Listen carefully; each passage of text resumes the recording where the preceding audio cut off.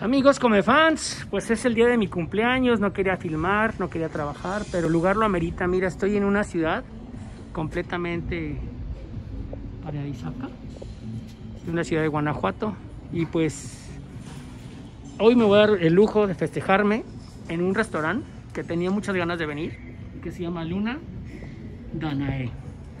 Es un restaurante clásico, prácticamente es nuevo, pero conserva todo lo que es el toque colonial de la ciudad de Guanajuato. Y te invito a que pases mi cumpleaños conmigo. En la primera parte de la, de la construcción, pues vas a encontrar una escalinata. Tienes que venir, no es recomendable para las personas que utilizan sillas de ruedas, ¿por qué? Porque no hay acceso a las, a las sillas de ruedas, es el único detalle que yo le veo, ¿no? Pero mira, más adelante en la noche iré más arriba. Ahorita abren a las 3. Esta es la barra. Y la vista es espectacular. Esperamos un cumpleaños maravilloso. Entonces mira, de entrada te comparto la primera vista, pasaditas de las 4 de la tarde. Te estoy enfocando la Benemérita y Honrosa Universidad de Guanajuato, la Iglesia de la Paz, y aquí enfrente está el Jardín Unión. Esto que tú ves, esta construcción que tú ves aquí es uno de los teatros más hermosos del mundo, no solo de México y de América Latina, es del mundo. Está construido en la época porfiriata y es el Teatro Juárez. Ahorita lo vamos a ver por, por de frente. Entonces, mira la panorámica que tenemos y seguimos reportando. Amigos come fans, amigas, estoy festejando mi cumpleaños y ¿qué creen? Tengo el honor de que Miguel nos atiende el día de hoy y nos va a decir que me preparó para mi cumpleaños y para brindar. A ver Miguel, ahora sí, preséntate, ¿cómo te llamas? Hola, buenas tardes, mi nombre es Miguel, saludos para todos. Estamos aquí en el restaurante Luna Danae. Este, le preparé aquí a mi amigo un gin tonic preparado con beef eater Ajá, pero también te lo pueden preparar con Bombay. ¿Qué le pusiste? A ver, dinos. Sí, bueno, este Beefeater eh, Citrix lleva solamente una rodaja de limón y una rodaja de naranja, dos hielos y acompañado con agua tónica, lo que lo hace una combinación muy buena para el gin. Y aquí la clave es que él te lo prepara de manera derecha para que tú mismo te pongas tu agua tónica. ¿Estamos? Sí, Ok, pues seguimos grabando, Miguel. Muy bien. Gracias. A ustedes, saludos. Saludos. Ya, ya. Gracias por acompañarme, es mi cumpleaños, estoy aquí con la reina de reinas, entonces salud. Te voy a decir qué tal está el, el, el, gin tonic. Acuérdate que el gin tonic es una de mis bebidas favoritas porque es un tonificante, como dice su nombre, que ayuda a que tu estómago se calme. Entonces ahorita me eché unos chocolatitos, como traigo un poquito de grasa en el, en el estómago, pues vamos a ayudar a digerirlo. Mira, esta es una cosa deliciosa. A ver, te voy a decir qué tal le quedó a Miguel.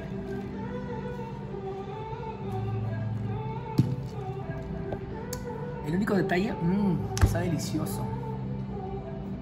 Digno de mi cumpleaños, ¿eh? Miren, el único detalle es que no se sirve en este tipo de copas. Se sirve en un vaso jaibolero. Pero es tan refrescante que, como yo te he dicho, esta bebida cuando tengas problemas digestivos, si eres dama y tienes problemas de cólicos o estás en tus días, esta es la bebida que debes de tomar.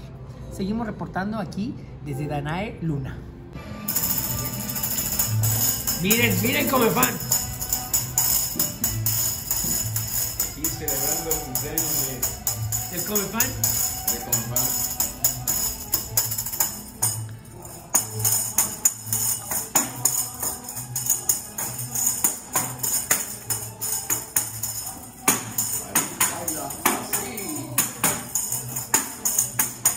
Sin palabras. Esto es Guanajuato capital.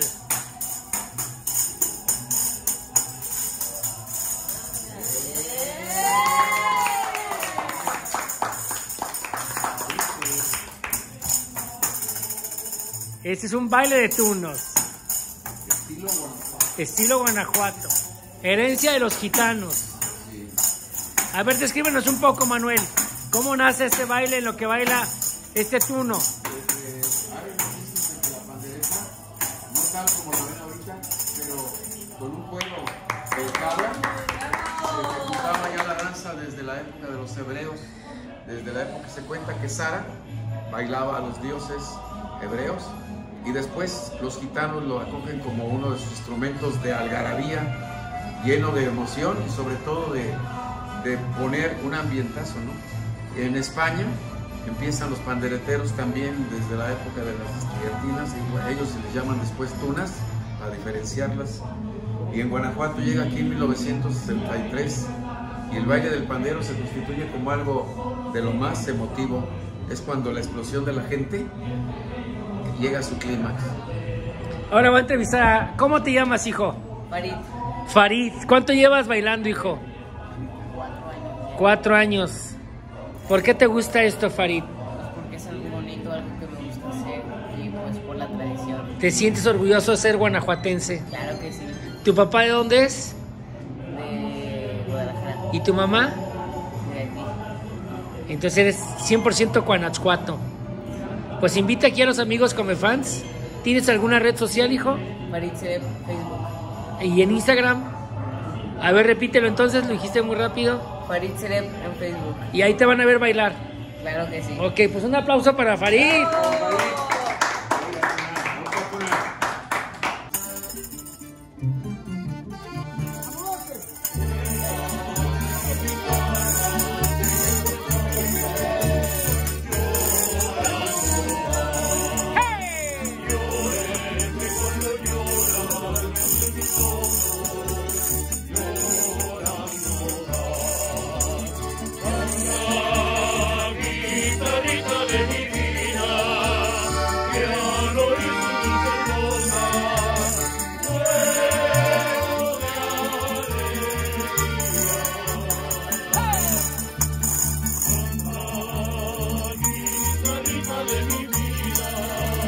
Yeah.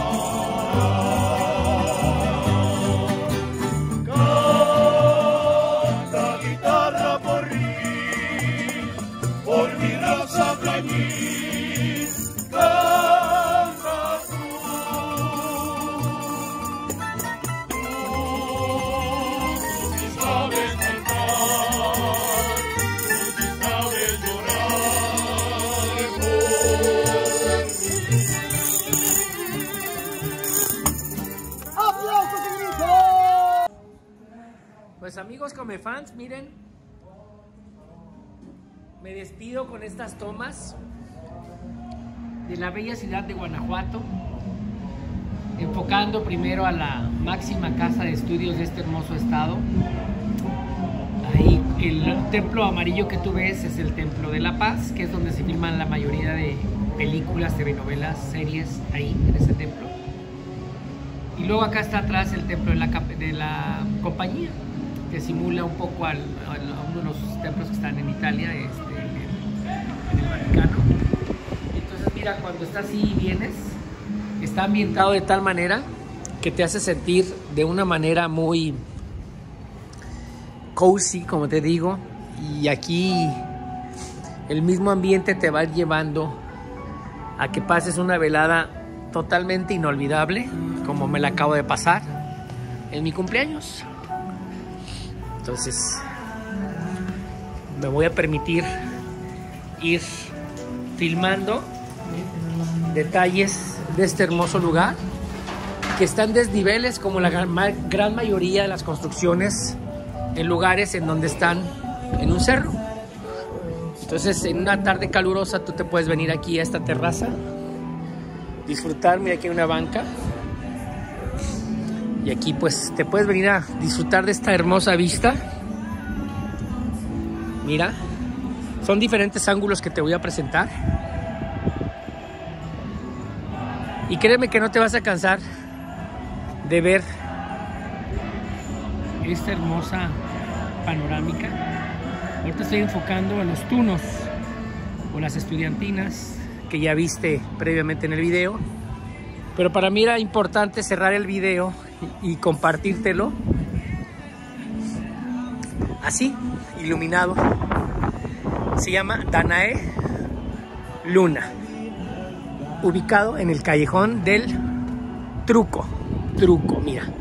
Es la última parte del restaurante. Escucha a lo lejos las campanas de la compañía. Y créeme que esta ciudad no le pide nada a las ciudades europeas. Cada, cada ciudad tiene lo suyo. Es una ciudad muy colonial, una joya de nuestro precioso México. Y arriba, ahí donde estoy enfocando, es el Pípila. Ya empezó a bajar la temperatura. Ahí lo iluminamos un poco más. Y ese es el Pues me despido con esta escena. No sin antes agradecerte cuando me pones una manita con el dedo arriba. Y más, una tema a los 360 grados. Y más cuando me compartes. Nos vemos hasta la próxima y gracias por seguirme.